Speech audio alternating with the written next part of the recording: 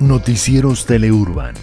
El gobernador Enrique Alfaro Ramírez subrayó que Jalisco se suma al esfuerzo del presidente Andrés Manuel López Obrador por traer justicia a todo el territorio nacional y dar otra perspectiva de desarrollo en municipios turísticos. En el marco de la visita a Puerto Vallarta del presidente de la República, expresó queremos sumarnos al esfuerzo para lograr que los municipios turísticos, que históricamente han crecido con una profunda injusticia, puedan tener otra perspectiva de desarrollo, afirmó.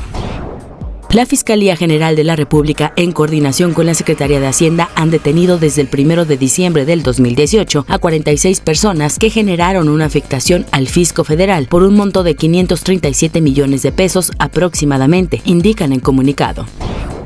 Las ventas del sector abarrotero mayorista crecieron 7.7% en marzo, comparado con el mismo mes del 2018, lo que indica su fortalecimiento en contraste con el estancamiento y retroceso de otros sectores, afirmó Iñaki Landaburu, presidente ejecutivo de la Asociación Nacional de Abarroteros Mayoristas.